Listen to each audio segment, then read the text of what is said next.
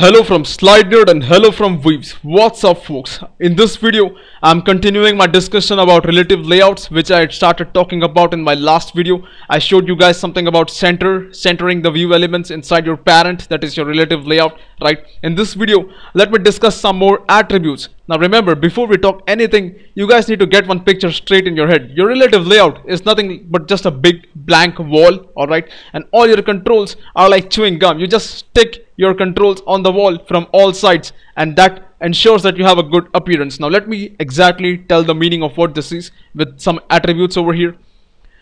So here again I have a, I have some rules over here. I'm going to talk about XML attributes for your relative layout. They are going to have true or false values and if you are using the relative layout in Java then there are some values that you can use. These are inside your relative layout class in Java. So what is the rule? Align the edge of this view with its parent edge. Now what does that mean? Let us discuss those the, with the help of a nice picture but before that let me show you the attributes. There's align parent top, align parent bottom, align parent left and align parent right. Now these are the Java values which you have inside your relative layout class and these are your XML attributes. Now you guys look at this if you're beginners and you're wondering what it means. So let me actually show you some pictures and show you guys how these things work. So first what you have is you have a button now this is where your button actually goes inside a relative layout by default.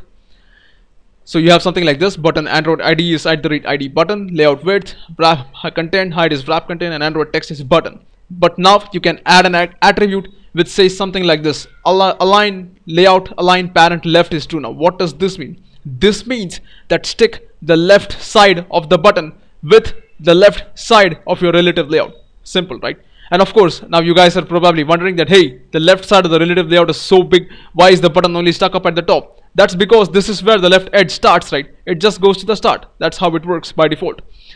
Or you can also say layout align parent top equals to true. That also gives you the same effect in your visual uh, appearance, alright. Now what happens in this case is that your top edge of the button your top edge of the button and the top edge of the relative layout are stuck with each other like glue. Now as I said, your relative layout is like chewing gum. You just stick your controls from edges or from the centers and that's how relative layout works.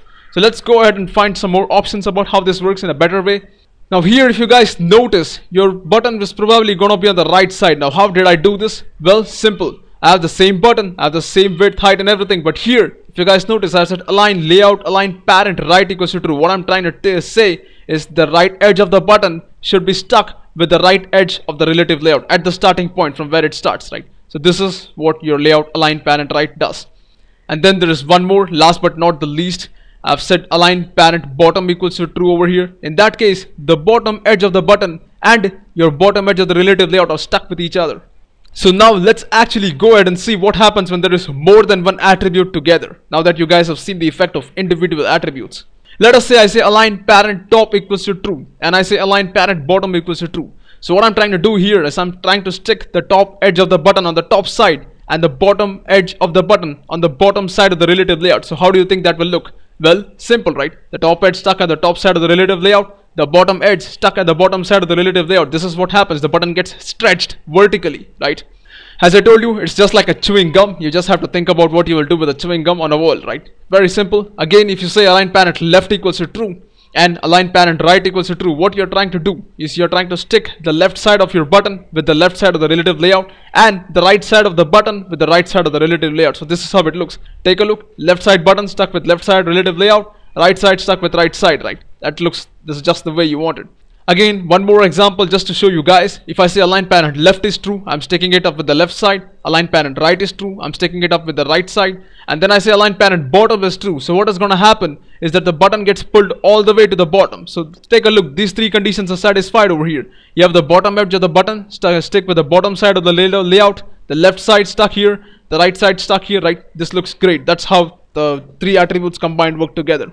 And last but not the least, what happens when I put all four of them? Align parent left is true, right is true, bottom is true, and top is true. In this case, you guys can simply imagine it's gonna be stuck at all sides. It's very simple to imagine, right? You have the left side completely stuck, then you have the right side completely stuck, the top side is also stuck, and the bottom side is also stuck, right? Pretty simple to understand. So now, let's talk about this. What happens when you actually put another view over here? So what I have is here I have the same button. I have the same align parent bottom. True left true right true and top true. That means the button has taken the complete space on your screen right? And below that I have a text view which I have not specified anything about it. I've just added it just like that. What happens?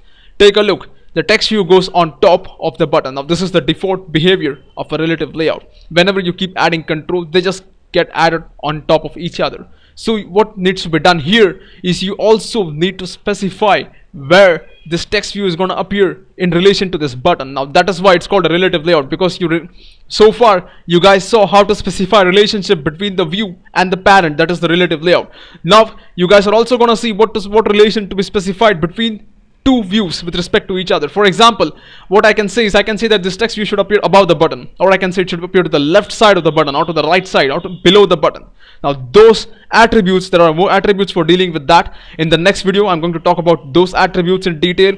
In the meantime, if you guys like what you saw, please subscribe to my channel, comment, let me know your thoughts. I would love to hear from you guys. Thanks for watching. I'll catch you guys later. Have a nice day.